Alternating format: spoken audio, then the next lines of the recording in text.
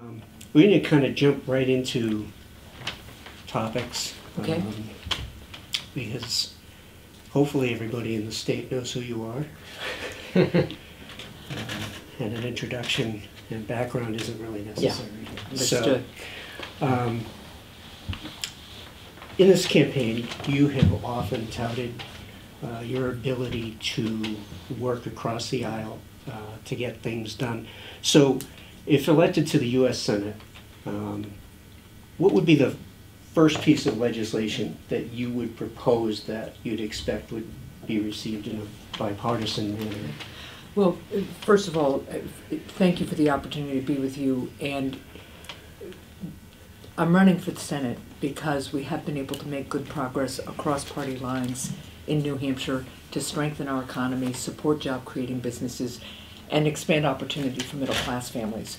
So when I look at some of the things we've done, everything from passing two fiscally responsible balanced budgets without a sales or an income tax to our bipartisan Medicaid expansion program, uh, to freezing in-state tuition at our university system and lowering it at community colleges. Those are all things that we've been able to do just by focusing on the challenges that hardworking families and small businesses face. And I really think Washington could benefit from the same approach. In my view, Washington has been really uh, captured by special interests and they set the agenda and they stack the deck for themselves and the middle class and small businesses lose out. So my focus in the United States Senate, should the people of New Hampshire honor me with their vote, would be first on, on, in the category of urgency, um, getting emergency federal funding to combat our heroin and opioid crisis. That is our most urgent need in New Hampshire. Um, the nation's governors have been calling for this in a bipartisan uh, call for action for some time now. 46 of us signed a compact on our the own, our own steps we would take in our states, but also then called on the federal government to get us emergency federal funding so we could stand up the prevention, treatment, and recovery efforts that we all know we need, as well as some law enforcement efforts. So if in the lame duck session Congress doesn't do that, that would be my first order of business, and I hope very much it would be the first bill that the next president of the United States signs. Then I've also proposed um, an economic policy called Innovate NH 2.0. It builds on the economic policy that I proposed when I ran for governor in 2012. And it lays out five areas of focus that would be my priority um, in the Senate. Uh, first is making sure that we are helping, especially new businesses and small businesses, with cutting small business taxes and cutting red tape. Uh, an example would be uh, expanding the availability and impact of the federal R&D tax credit, for instance. Uh, secondly, we have to do more to develop a 21st century workforce. It's the number one thing I hear about from employers all around New Hampshire, and that mean and it, it's also important because it helps expand opportunity, obviously, for our people. So that focuses on holding down the cost of higher ed, to be sure, but also uh, building on the work we've done here in New Hampshire around competency-based education, apprenticeship, and job training. Third, we have to expand opportunity for middle-class families, uh, for working families all across our state and our country.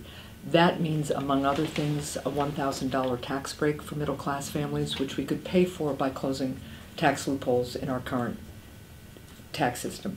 Uh, it also calls for, again, uh, making sure that we are helping working families with some of the costs of what I would call, um, you know, the, the elements of opportunity. So holding down the cost of higher education while making it more relevant to and helping students refinance their loans, uh, investing in early childhood education and childcare.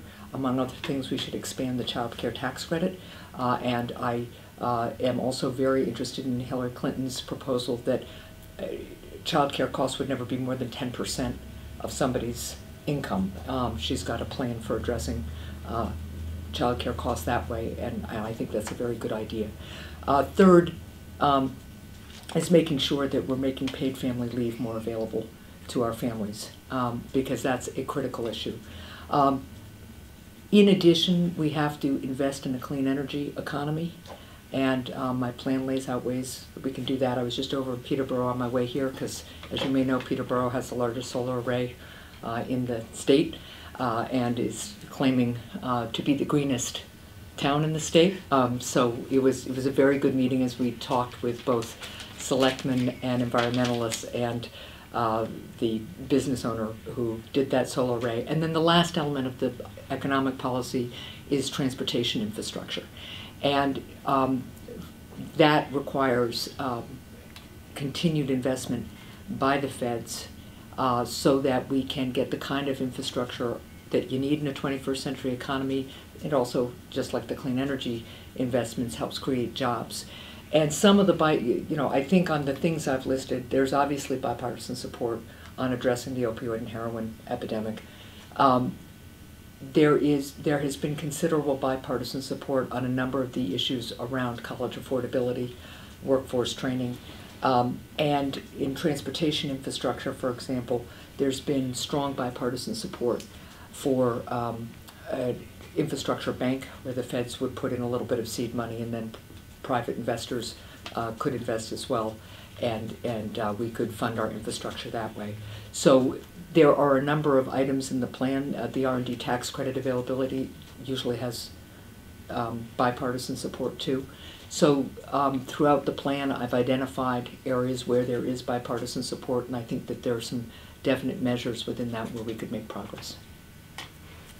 Governor, um, a, th- a segment of the third presidential debate on Wednesday was devoted to the Supreme Court. Yeah. Were you to arrive in Washington to a Trump administration, what would your approach be to Supreme Court nominees? Is there some, and maybe talk about some of the particulars that you would be looking for Yeah, in a um. I- The administration of justice and access to justice is obviously a, a critical fundamental of democracy. Um, my dad always reminded me that when we said pledge allegiance, you pledge liberty and justice for all, not liberty and charity, not liberty and anything else, but justice too. And so it's an absolute fundamental uh, to our society and our democracy. Um, I want to take a step back and just tell you what my approach has been as a governor and what that means for my approach in the United States Senate. And I'll also just preface this by saying I think the fact that the current United States Senate is blocking the Supreme Court nomination process is an outrage. Um, the Constitution's really clear um, that the President shall nominate and the Senate shall advise and consent. And the Constitution doesn't say except in an election year. Uh, it says that the process should go forward. And right now, we have less than a full complement of justices, and that really impacts real people with real cases and real lives. And so, uh, in my view, that is a breathtaking dereliction of duty of the current Senate. Um, as governor, what I always try to do is make sure that we are nominating people, I'm nominating people that not only have the qualifications as excellent lawyers and legal technicians that you would want in any judge, but have the character and temperament to make it clear to anyone who interacts with the court system that they will get a fair shake, that the system will be open to them, and that they will have a chance to make their case uh, from whatever walk of life they enter the system. So I have continued the process that then Governor Shaheen started, Governor Lynch followed, and I've also followed, which is to establish a nonpartisan judicial selection commission. Uh, that group, which in, includes lawyers um, and lay people, um, whenever we have an opening for a judge, they screen all the applications, go through a very thorough vetting and interview process, and then provide me a list of possible candidates. Um, and I choose from that list. And my commitment to all of them, even though there's nothing that requires that I do this, is that I will never nominate somebody who isn't on that list. Because that way the people of our state have confidence that we are getting highly qualified people vetted by a nonpartisan group. Um, and I then take that list, um, sift through the recommendations and the observations of the Judici- Judicial Selection Commission, and then I make nominations, as you all know, to the Executive Council. I am proud of the fact that in the last year or so, we had 12 opening, I nominated 12 people. 11 of them have been confirmed by a Republican majority executive council. That's the way it should be able to work. Uh, I think in addition to having the legal qualifications and the appropriate temperament, uh, you also have to have people who have demonstrated their capacity to translate legal rulings and and outcomes to real people's lives. Uh, they have to understand what the impact of a case will be to a real family, a real business, a real person.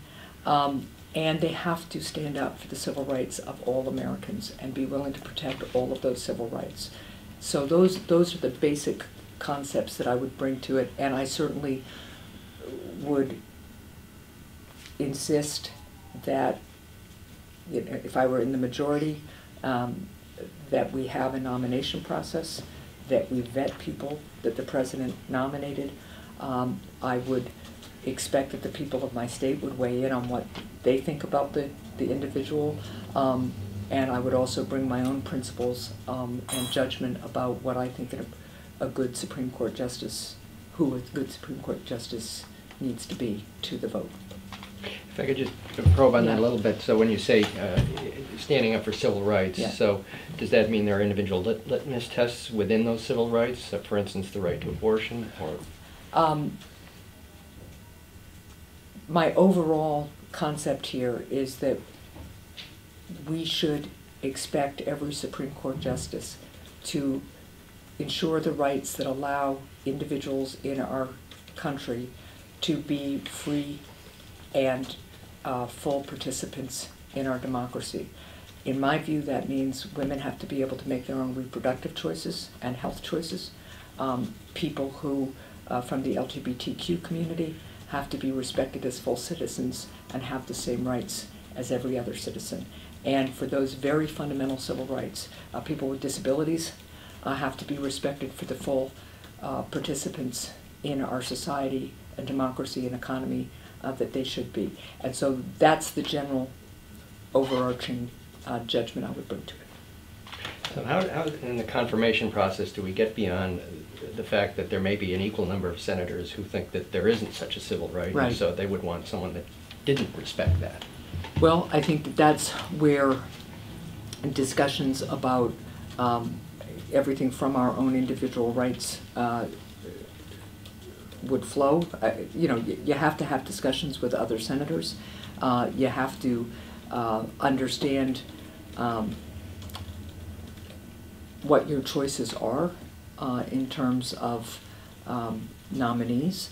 And I think it requires the president who is nominating uh, the candidate to understand what kind of judgments senators are going to bring to bear and try to nominate somebody uh, who can um, satisfy a majority of the senators um, in terms of their qualifications. Uh, you know, I don't expect that I would like everything about every nominee from any president. Um, but I think, you know, when you look at the nominee that President Obama just brought forward, um, he's the kind of nominee with that kind of life experience, legal experience, and willingness to observe and think through precedent uh, that uh, I think many people, um, gives many people confidence that he would respect civil rights even if he might not have agreed with the original decisions uh, that established them. And that's the other critical thing for those of us, all Americans, I think, understand this. Um, there is a real there is a real need to understand the basis of the precedents that the court operates under and to try to find a way, um, unless one really thinks it was a completely wrong decision to follow that precedent. Uh, one of the things I always respected, um, Sandra Day O'Connor was a favorite Supreme Court judge of mine, um, and it is because she was the first, I believe she was the first judge uh, to support the right for women to make reproductive choices based on their liberty interest, not their privacy interest. And I thought that that was a really important distinction. It was a, a honing of um, the Roe v. Wade decision.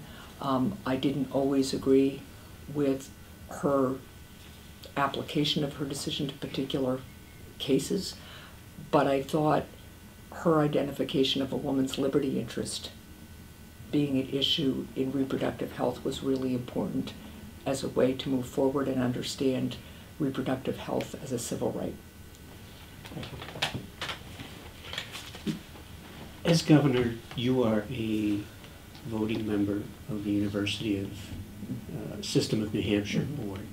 Uh, uh, Fairly recently, a a PolitiFact uh, report found that you had not attended any meetings other than, uh, of that board, since you've been governor, other than uh, calling in to vote on freezing tuitions. Um, So, and, and granted, that's something that other governors have also not attended a lot of these meetings uh, on both sides of the aisle, but it is part of the job. Um, a- and given that uh, a recent report says New Hampshire ranks dead last in the country in student debt, um, how do you answer accusations that you have failed in that capacity to be more involved in directing higher education uh, decisions that would help with that?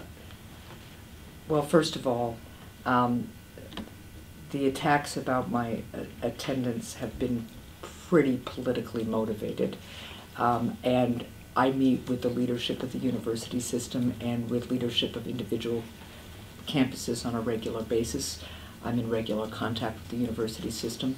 And as you'll remember, when I ran for governor, I made it one of my priorities to freeze in-state university tuition because I understood the impact of the cost of higher education on our working families and on our students and the impact of student debt on our families.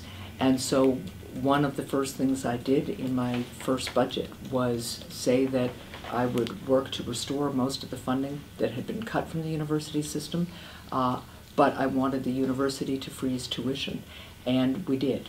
Um, we froze it for two years. I can't tell you the number of people who've come up to me, students and parents, to say, you know, when that happened, uh, one woman said to me, I knew I wouldn't have to work as many extra hours at my job to help my child with tuition uh, for that year. Um, it has been a major priority of mine, and um, it continues to be a major priority of mine. Um, so I think in this case, uh, there's proof in my record that uh, I actually, for the fir- first for the first time in 25 years, I presided over the freeze of in-state university tuition at the university system, and we actually lowered it at the community colleges. So um, I think it's really important that we continue to work on college affordability. It's a cornerstone of my economic policy, and it is a real difference between my opponent and me in the Senate race.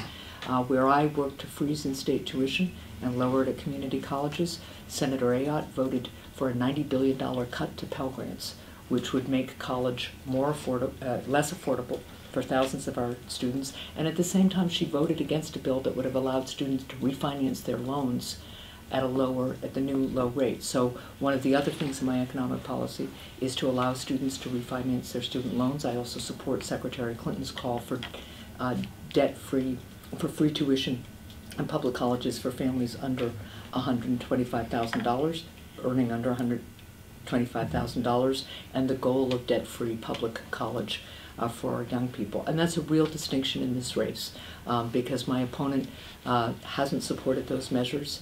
Uh, and recently, uh, when she realized that um, her position on Pell Grants and refinancing student debt wasn't popular, she sponsored a bill that has been called a wolf in sheep's clothing and a sweetheart deal for Wall Street that she says allows students to refinance their loans but would force them to Wall Street to do it without any consumer protections. So there's a real difference here, and I have a record of really working on this issue and understanding it and making it a priority, and I'm proud of that record. And, but still, uh, if New Hampshire has the uh, uh, 50 states, the, the, the highest student debt, uh, something hasn't been working here. What, what, what led Well? I, I've, I've been governor since 2013, and um, in my first two years in office, we were able to freeze tuition, and then we worked like heck to hold it down in this last year. Uh, before that, no governor had made this a priority, no legislature had made holding down the cost of tuition a priority. I have, and will continue to work on it, and it's one of the reasons I'm running for the United States Senate, and it's one of the cornerstones of my economic plan. Uh, one of the, but we have, um, compared to other states, uh, for a long time, made less investments in higher education, uh, from public funding for higher education than other states have. I've made it a priority to begin to change that, and I'll stand by my record in doing it. Um, you know, we need to do more, to be sure. Um, I wanted the legislature to provide more funding in the last budget than it decided to do for the university system. Um, and I made the case for it, and I worked really hard uh, to try to get the legislature to fund it so we could continue the freeze. They chose not to do that. I think that's too bad, and I think the voters should hold them accountable for that. Does our, our public university system spend wisely and efficiently? Not uh, in my judgment on all things, and so you probably read that I was pretty critical of their decision to uh, use a recent bequest uh, on a jumbo um, score Board. scoreboard. Thank you. Yes, I was looking for the word. Yeah. When you mentioned, um, uh, this will be my last one on this Yeah. topic, but uh, when you, you mentioned um, being for Secretary Clinton's uh, idea of uh, free public college tuition for families under 125,000 Yeah. in income. Uh, So how would that be paid for? Would, the- would, if you were, were still going to be governor Yeah. and that Yeah. plan came forward, would you look at it and say, wow, how, how, how am I going to fund this? Right. So a couple of things. First of all, uh, we can fund an initiative like that at the federal level by closing some of the loopholes that exist, whether it's uh, a loophole for big oil, uh, whether it's loopholes for Wall Street, um, loopholes that give tax breaks for bonuses that Wall Street managers get paid, or CEOs get paid. Um, in the vice president's talk yesterday, he talked about there being over a trillion dollars in corporate loopholes in our tax code. And we could begin by closing any number of them to invest in our people um, and our businesses around issues such as this one. Um, so, as a governor, I would let the feds know that we would need some help to make that happen. I'm proud of the fact that we have managed to reduce the community college tuition in New Hampshire. We've also taken some, made some other efforts to help with the issue of college affordability. So, uh, to get back a little bit to the issue of how much debt our students have, uh, we have a program now that if you are a New Hampshire resident who attends community college and keeps at least a 2.5 grade point average, uh, in certain disciplines, that means you are automatically admitted for your last two years for your bachelor's to the university system. We have advising that runs through all four years. That allows you to get a bachelor's degree from our university system for the cost of community col- two years of community college plus two years of the university system, which is significantly less than four years of the university system.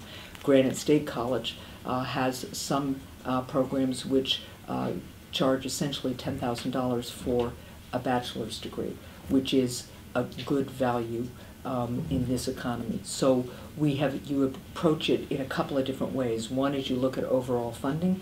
Two, you make sure that you're structuring your options for students in a way that allows them to get the uh, education and the training that they need as cost effectively as possible. And from a federal level, I certainly would support investments in community colleges and public university systems in partnership because I do know as a governor that you can't necessarily turn around and fund this all at once only from state dollars. Uh, but it would require a partnership, and I think when you talk to the people around our state, it is one of the biggest issues that families face. It is one of the biggest blocks for young people as they enter the workforce because they're factoring in the amount of student debt they have into what kind of jobs they'll choose. And there are other steps you can take too at the federal level which forgives a certain amount of student debt if people are going into high need jobs, or you can also um, you can also structure things so that uh, students are never uh, young people are never paying back more than a certain percentage of their income at any one time, so you can give, you can change the rate of repayment uh, based on their income. And there are a number of measures that have been looked at, all of which can help students and families with this issue. You need to indulge us in a real uh, clunky segue here. We're going to go from Durham, New Hampshire to the Middle East. Um, You're, you're on record um, as supporting President Obama's um, Iran nuclear deal. Your opponent is not. In fact, it's her contention that this program will allow for that nation to have nuclear weapons and other weapons sooner than might otherwise have been the case. Um, Why are you convinced that your interpretation of that deal is right? Um, like Senator Shaheen and national security and foreign policy experts in both political parties, um, I concluded uh, that the Iran deal, while imperfect, was the best option we had to keep Iran from getting a nuclear weapon, uh, something that can never happen and will never happen as long as I have anything to say about it. Uh, it's also important to note that people like the Israeli uh, military chief of staff has said that the Iran nuclear deal is the most important, uh, removed the most significant threat to Israel's existence. Um, it's the first step in many that we have to do uh, to make sure that we are continuing to support Israel, support its quantitative military and qualitative military edge, um, and we are also going to have to hold Iran accountable for its other violations of international norms and laws. Um, I, for instance, support uh, extending the Iran Sanctions Act based on some of their uh, violations recently uh, with ballistic missiles, for instance. All of that being said, um, Senator Ayotte's position is that she would have preferred for Iran to be able to continue to develop a nuclear weapon under the cloak of darkness um, and have a much shorter breakout time to get to a, a nuclear weapon than they now have because of the Iran nuclear deal. Um, the deal means that they have a longer breakout period if they were to decide to abandon the deal and try to develop a nuclear weapon, and we have much more intelligence on the ground with the right to be there watching what they're doing now. So I agree with the Israeli military chief of staff who says this removed the biggest threat to uh, Israel's existence, but I also agree that it's only the first in a number of steps we have to continue to take. And, and relative to the, the- the other Middle East hotspots that we're all too familiar with right now, um, it's a dangerous Yeah. and uh, fluid situation over there. Um, What is the uh, appropriate level of response for the U.S., and can you imagine that response including boots on the ground in Iraq or Syria? Um, I have set out a national security plan, um, and the first priority in that plan is defeating ISIS wherever it is. So let me address Syria and Iraq uh, right now with regard to that plan. Um, and, you know, it's important that we think of this kind of in terms of priorities. First things first, we absolutely have to destroy ISIS. So my plan calls for um, increasing airstrikes in Syria against ISIS, uh, making sure that we are uh, increasing our special operations, particularly when we're going after command and control of ISIS, and also in the support and training functions that our special operations can play uh, with local forces, especially moderate forces. Uh, we are going to have to uh, continue to support those moderate forces, and in light of uh, Russia's recent um, outrages, uh, it's going to be important that we partner with other international allies to arm, to let those international allies, or partners is a better word, uh, to arm um, moderate forces. We also know um, that we're going to need to surge our intelligence as we have been, uh, not only in the Middle East, but really working with our international partners around the globe in terms of improving our intelligence. And lastly, um, the United States Congress needs to take up a debate and pass an authorization of use of military force that makes it clear to the American people what it's going to take to truly defeat ISIS. I think that our approach in Mosul right now is the appropriate one. Uh, we're having uh, Kurdish and Iraqi forces uh, liberate, you know, they're on the ground working to liberate Mosul right now. I think it's appropriate that we have airstrikes supporting that and that we have uh, some American military on the ground there, again, in more of an advice and support capacity. Uh, But of course, we, we also know that we've lost an American life in the last day or two uh, in this um, advance. So that's the approach I bring to this. We need to uh, be supporting and partnering and providing air cover uh, to forces on the, you know, forces from Iraq and Syria uh, to liberate uh, those, the areas that ISIS has in those uh, countries. Um, And then we're also going to need to, uh, especially in Syria, plan for a post-Assad Syria and deal with the issues of uh, political and economic stability that will necessarily arise. And so, so you must think about this often. What, what is the threshold for you in terms of putting um, American soldiers? Well, I, I don't support um, ongoing combat troops on the ground in Syria um, or um, anything more than we have in Iraq right now. Um, Look, America's role in the world is to be the greatest economic and military force there is so that we can lead and also be the greatest force for good in the world. We have to work with our international allies. We have to also make sure we're using our military might only as a last resort. But at the end of the day, when a country like Syria or Iraq is challenged with the kind of civil war that they've been having, uh, they need to take the initiative and be the leaders in fighting for and deciding the future of their countries. And we need to support uh, them in their efforts to do that and certainly protect our own vital interests, uh, what allows us to continue as a free people in a free society and a free economy. Uh, but I think it's really important that the people of the countries at issue here are the ones on the ground doing the fighting. Uh, you've been a proponent of New Hampshire businesses having global trading options, uh, but you've also said that you don't support the uh, TPP. Right. Um, could you explain uh, why you don't? You Yeah. said that it doesn't provide protection, enough protection for workers. Could you explain why you believe that's the case, and then also compare it to past trade deals like uh, NAFTA?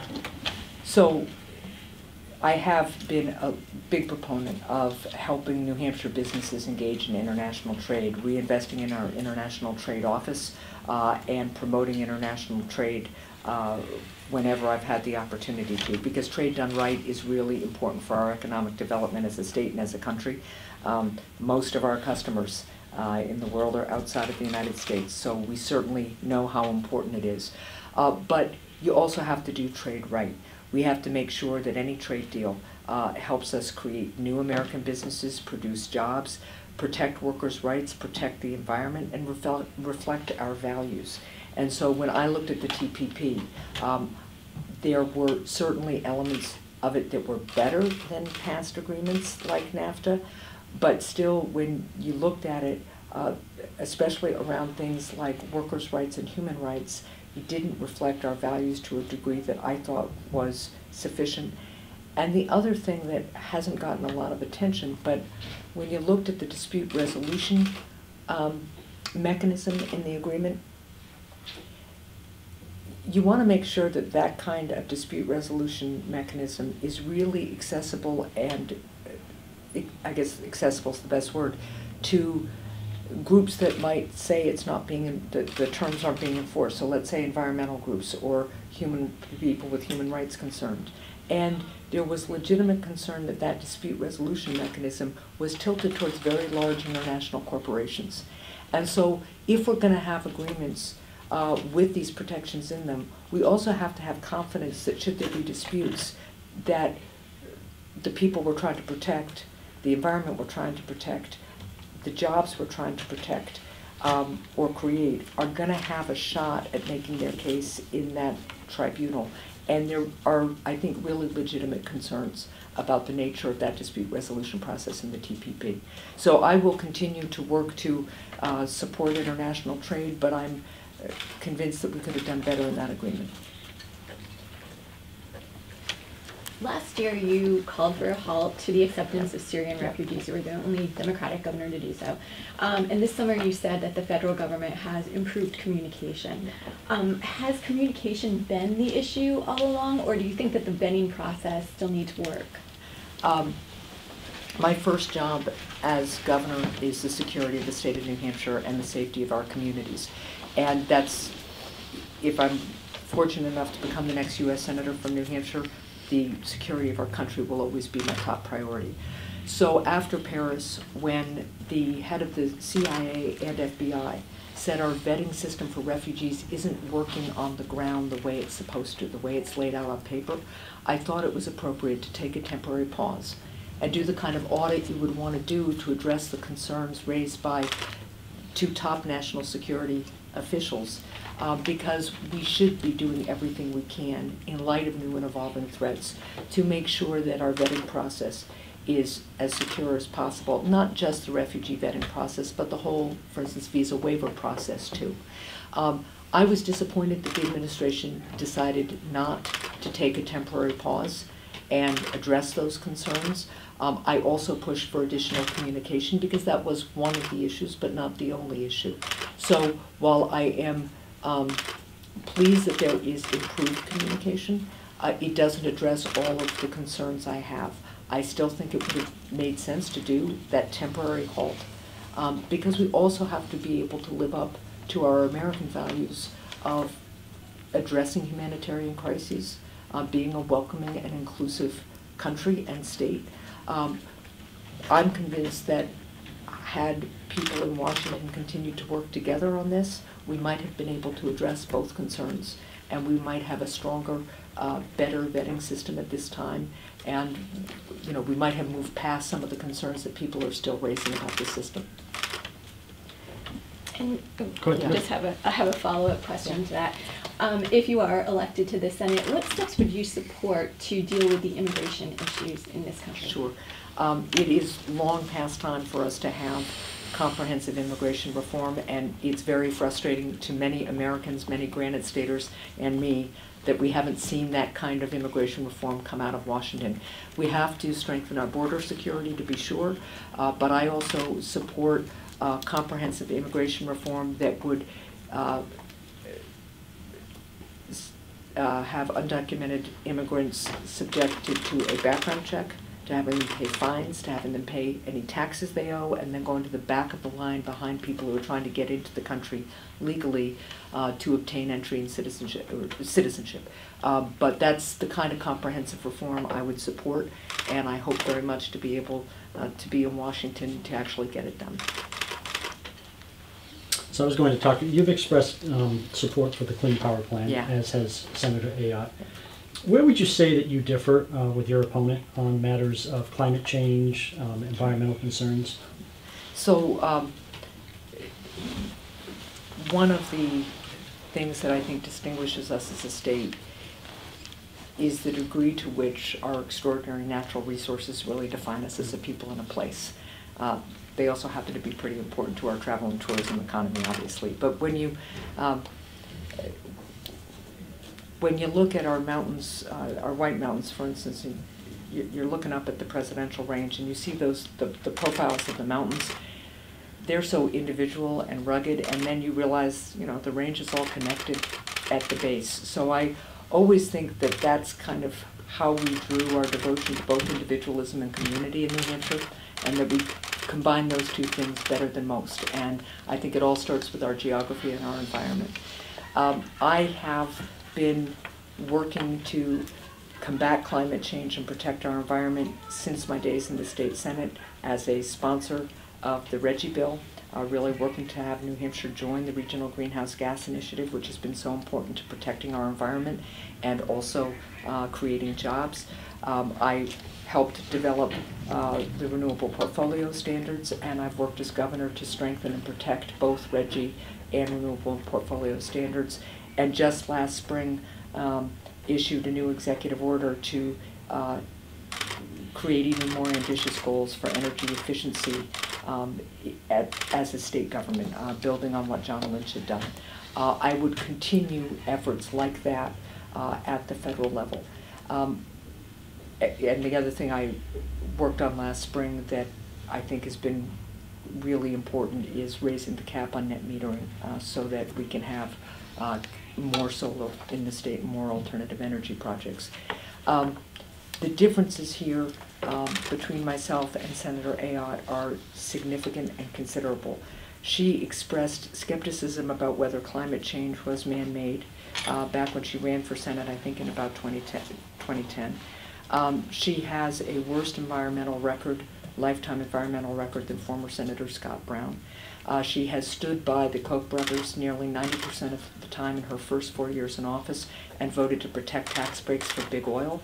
Uh, and she's the only New England senator to vote against critical clean water protections. So there's a real uh, difference between the two of us in our environmental records. Um, and I continue to be proud of mine, but know uh, that we should be doing more. Um, and at the federal level, um, among the things we need to do to invest in a clean energy economy uh, is expand RGGI, which, you know, RGGI has um, been recognized now as a very important component to the Clean Power Plan. Uh, we need to expand it, get more states to join, or have more states do their own regional uh, cap and trade programs like RGGI. Uh, we need to have a national net metering uh, model rules so that alternative energy producers don't have to deal with 50 different states and 50 different state regulations as they try to um, bring cost efficiency and clean energy uh, to the process. Uh, we also know that there's a lot more to do when it comes to making sure the federal government and particularly the Department of Defense uh, are, you know, are, are really setting strong energy efficiency goals. Um, I'm very um, glad, though, that the Department of Defense has really taken some initiatives to reduce their energy use and become much greener. So those are some of the things I do at the federal level. Do you have a position on the Paris Climate Accord? I support it. And, you know, that's one of the differences between me and my opponent is that until her recent disavowal of Donald Trump, she was supporting Donald Trump for the presidency who said he would tear up the Paris Accord. And kind of tilting on uh, the topic of energy, uh, last year, uh, the state was facing uh, a large gas, natural gas pipeline project, Northeast Energy. Right. Um, And it became clear during that process that the state government and local communities don't have a heck of a lot of say in the siting of projects on that scale. Um, If you get to uh, Washington, would you propose or back legislation to revisit that issue? So I think the people of southwestern New Hampshire in particular did an excellent job of the kind of citizen advocacy that is so important in New Hampshire and so important whenever a siting project like the pipeline is being considered. Uh, they did an excellent job of raising concerns. As governor, I took those concerns, I raised them with both the company and FERC, uh, writing letters saying to them, if, if the company and FERC can't address these concerns, the project shouldn't go forward.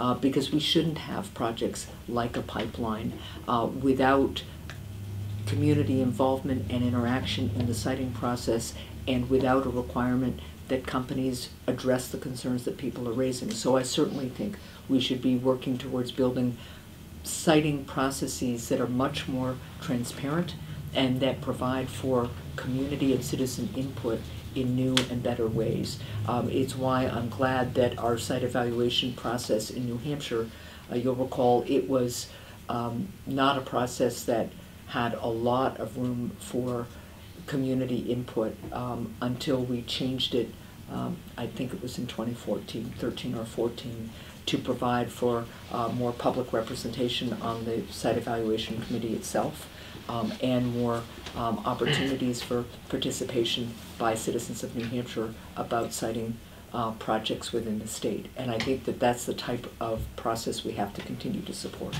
Not to be argumentative about this, but uh, the impression I have is that uh, dis- despite the the fine advocacy of the, of the residents around here in- in opposition to this, the- the effective advocacy, I should say, Yeah.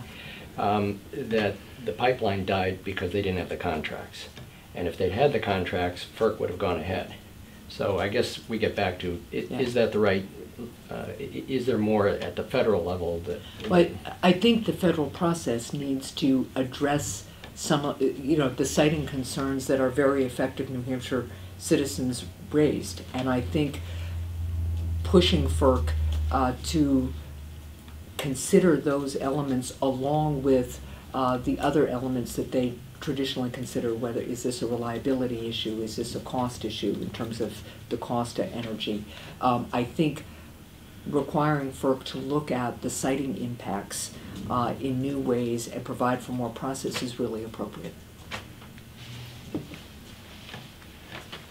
So eh, as governor here in New Hampshire, um, you have um, crafted budgets, and those budgets need to be balanced. Uh, In Washington, there's lots and lots of stuff that uh, the federal government can spend money on, uh, including really important things, uh, entitlement projects and education and such, national defense. Uh, But there isn't that same uh, requirement. They, they can defer paying for uh, this and, and often do. Uh, What would be your approach? We, as a, in the Senate, Yeah. uh, on budget issues, what, how would you approach it? And would you uh, be looking for that same kind of balanced budget mandate? So I am proud of the fact that we balanced two bipartisan budgets in New Hampshire since I've been governor, and that we've done it uh, keeping our low tax status, uh, but also making sure uh, that we invest in critical economic priorities for our people and small businesses. Um, and I think we have to bring that same kind of fiscal responsibility to Washington. Uh, I've released a fiscal uh, plan, um, again, that my campaign can provide to you and that viewers or readers can uh, look up on the campaign website. It calls for several things. One, I would support Senator Shaheen's call for biennial federal budgets, just like we have biennial budgets here in New Hampshire. The reason that's so important is that you could then do the process of developing the budget and appropriations in the first year, and then use the second year to actually evaluate uh, what's working uh, in terms of programs that you're funding, uh, and work on authorizing uh, various programs um, as effectively as possible in the second year. Um, the other, there are several other elements of the fiscal plan. Uh, the second being uh, that you need to make sure that the federal government is engaged in data-based decision-making. Uh, it is really remarkable um, the number of programs that the federal government funds that we don't really have any information about whether they work or not. Uh, so we should be making data-driven decisions in terms of how we use federal dollars. We should work to eliminate uh, waste, fraud, and abuse in the federal government. And two things that come to mind. Uh, one is that we still subsidize the tobacco industry. You know, we shouldn't be doing that anymore. Um, and we also have a lot of federal buildings that are empty, but we still have to maintain them. Um, and those are the types of things where we could sell off those buildings or close them down. Um, you know, if we could sell them, um, we wouldn't need to do things like, you know, not only maintenance of the building, but maintenance of the surrounding um, property, right? So those are just some examples of kind of waste and fraud we could reduce.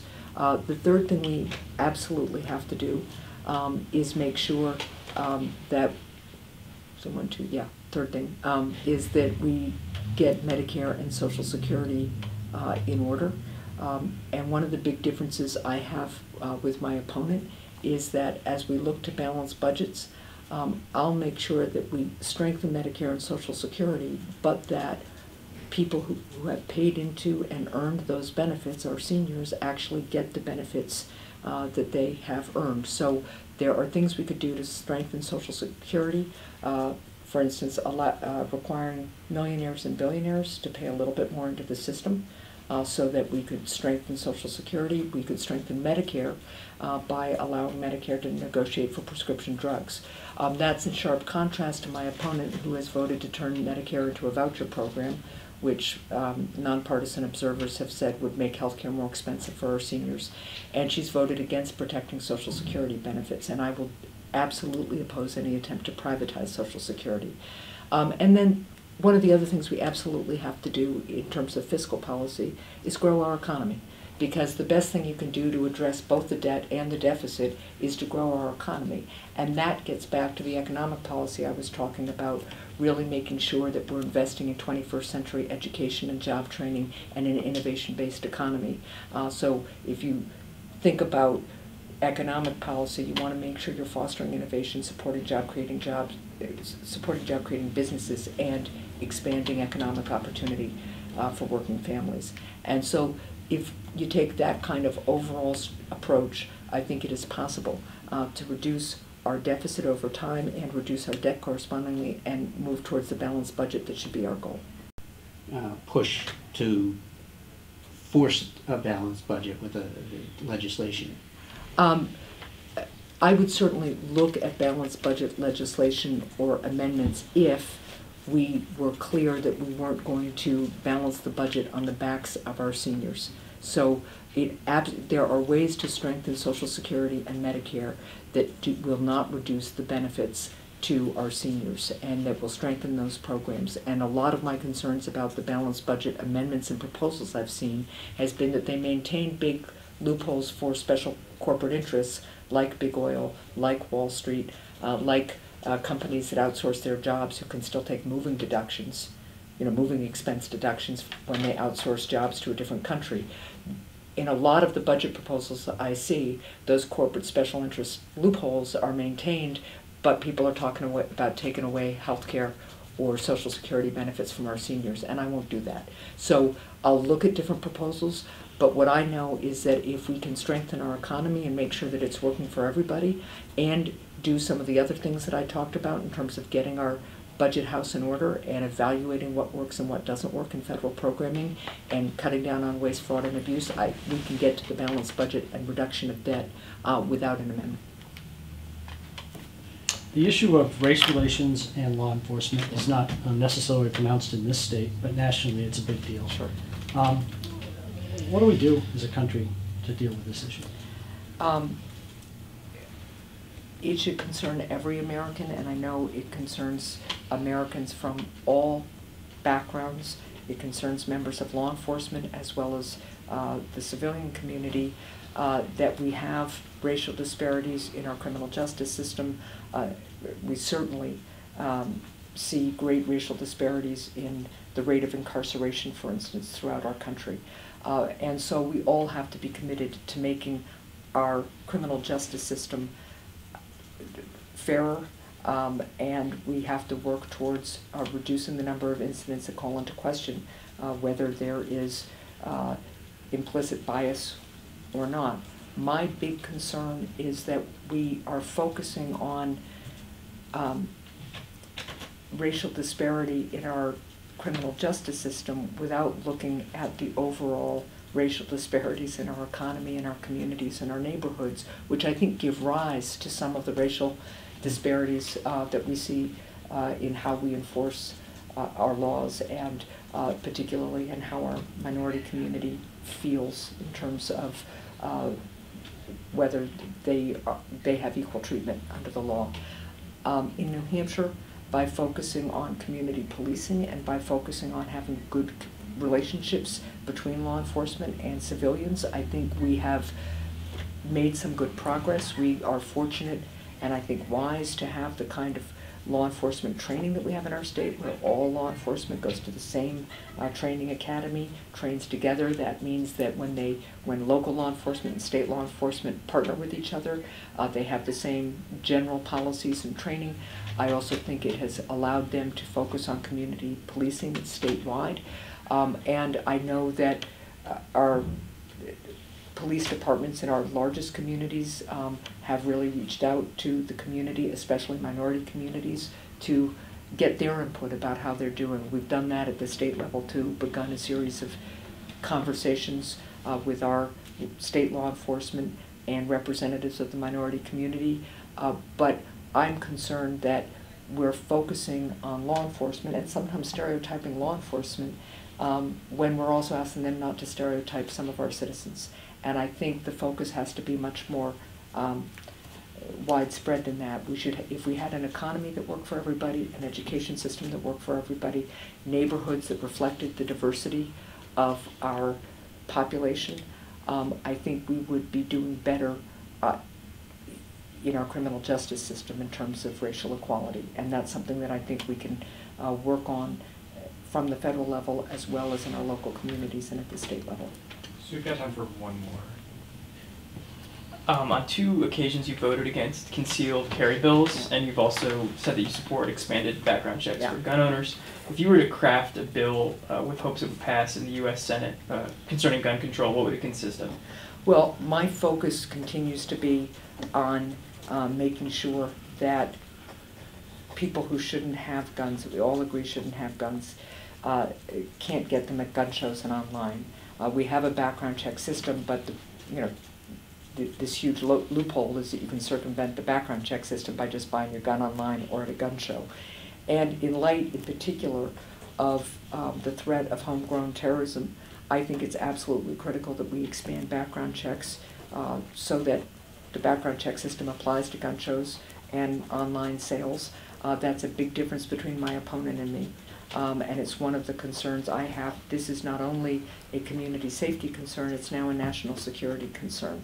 Um, and my opponent had the chance after Orlando uh, to vote to support expanded background checks. She didn't. Um, and I find that really, really concerning. So my primary focus would be on expanding background checks um, and uh, then um, also working with local law enforcement to get their feedback about other things we could do uh, to be making sure that um, guns don't, that, that people who shouldn't have guns can't buy them. I strongly support the Second Amendment. I believe Americans have the right to own a gun for self-defense in their homes, for recreation, for hunting. Um, and I think there is a way to honor that right, but still prevent people like terrorists or like people with truly serious mental illness that makes them dangerous. And it's really important that we acknowledge that most people with mental illness are not dangerous, uh, but there are some people we all agree shouldn't get guns. And that's another issue that we have to address in our background check system. The communication about who has been adjudicated to be dangerous um, needs to uh, get from uh, a local court system uh, to the background check system. Um, and that's, those are the initial steps I would focus on. Okay, I think we've been shut off. Um, so. I, I, can I just close with, with one other thought, um, and Aaron will, Perfect. you'll give me, okay. Um, The thing that has struck me throughout this campaign, because it has been such an extraordinary campaign cycle on so many levels, um, is something that I go back to really growing up. My dad was a World War II veteran and a veteran at the Battle of the Bulge. And it would not be unusual for him um, at the breakfast table to look at his three children and say, What are you going to do for freedom today? Which is kind of a daunting question to get when you're about 10 years old, right? But he was serious about it because his generation, you know, the people we've come to call the greatest generation, had saved the world from Hitler. And then they had built this country into the greatest economic and military power the world had ever known. And they did that because they believed in a cause greater than themselves. This is an election about whether we can remember that as Americans, we have a cause greater than any one individual. I got drawn into public life because I had the experience of watching my son, who has very severe disabilities, be included in his hometown. He went to preschool in Exeter, New Hampshire. He got his high school diploma in Exeter, New Hampshire. Ben doesn't speak, he can't walk, he gets most of his nutrition through a feeding tube, but he had a chance to learn and make friends because people before the Hassans did the work to advocate for people like my son and to champion that work. And it is that progress that we make as Americans that is a continuous mission for all of us and a continuous challenge for all of us. Um, we were founded by people who said that everybody counts, and they didn't count everybody at first, but they had confidence that every generation of Americans would bring more people in from the margins and include them. That's what we've been doing as Americans since our founding, and that's what we can continue to do if we can focus on what binds us together as Americans, on that mission of inclusion and growth that is important for the cause of human dignity, but also unleashes talent and energy that strengthens all of us. And so, what I would urge voters to think about this election is how we reach for our better selves and remind ourselves of what binds us as Americans and reminds our, remind each other that when we do work together, have our disagreements, which are inevitable and part of our proud tradition of being American, right? Um, have our disagreements, but then remember that despite those disagreements, we have a common purpose and a common goal. Uh, more than anything, that's what I think is at stake in this election. And the commitment I would make to all Granite Staters. Uh, my grandfather had a great expression, God willing and the creek don't rise. God willing and the creek don't rise, I win this election. Um, is that I will continue to listen to Granite Staters, work across party lines to find ways to help keep our economy moving forward and protect our environment and keep our country safe. And I know we're capable of doing it. Thanks.